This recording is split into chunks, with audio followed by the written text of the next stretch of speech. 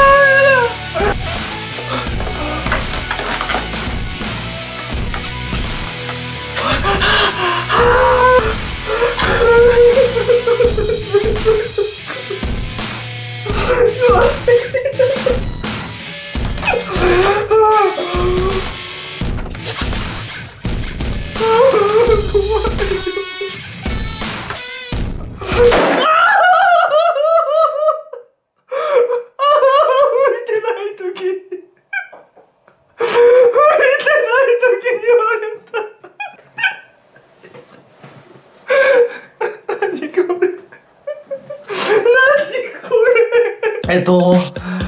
明日あのメインチャンネルでですねあの舞台の細かい詳細詳細が出ると思うんで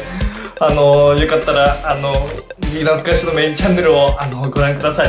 あとですねもしかしたらちょっとちょっとまあ多分できると思うんですけど一応そのチケットの販売もね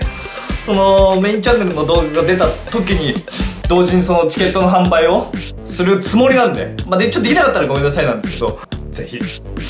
映像の方はもうねもうもうめちゃめちゃ面白くなると思うんですけど、まあ、それとつながりのある舞台の方もねめちゃめちゃ面白くなる予定なんで見に来てください。お願いします。ありがとうございました